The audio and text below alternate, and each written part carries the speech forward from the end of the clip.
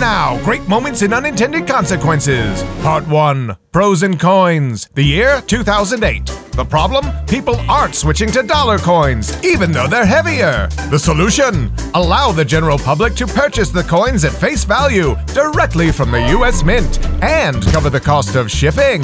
Sounds like a great idea. With the best of intentions, what could possibly go wrong? It turns out people like free stuff, and some credit cards offer rewards. Customers realized they could charge thousands of dollars worth of coins and then immediately pay off the balance with those very same coins, earning loads of free airline miles. Eventually, the Mint caught on, changed their rules, and blocked suspicious buyers from further purchases. But not before many had jacked up their reward points, banking free trips around the world. One frequent flyer is even said to have bought 800 grand in coins, helping him earn lifetime platinum elite status on American Airlines. Now that's a coin trick. Part 2 Crop Drop.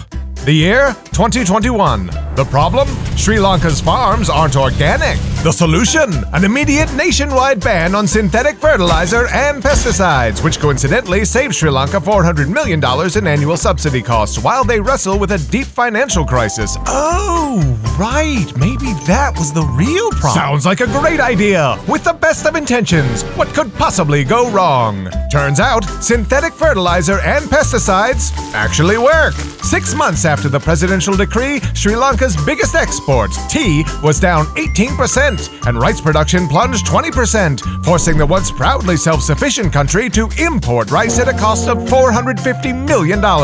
Due to public backlash, the government was forced to reverse their ban and pay out hundreds of millions to compensate farmers, deepening the country's economic crisis and fanning protests that led to the president's resignation and temporary exile.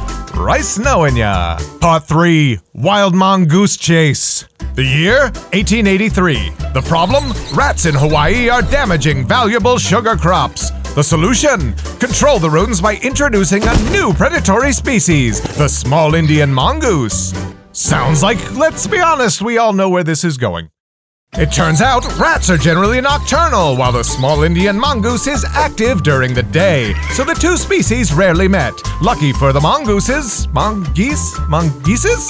Whatever, lucky for them, Hawaii is full of appetizing native wildlife, including sea turtle eggs and numerous species of endangered birds. With no natural predators, the mongoosin thrived. 100 years later, they remain a massive problem on many of the islands. But, now hear me out, Maybe if we introduce cobras. Great moments in unintended consequences. Good intentions, bad results. Do you have an idea for a great moment in unintended consequences? Put it in the comments below and cite your sources. What are we, Harvard?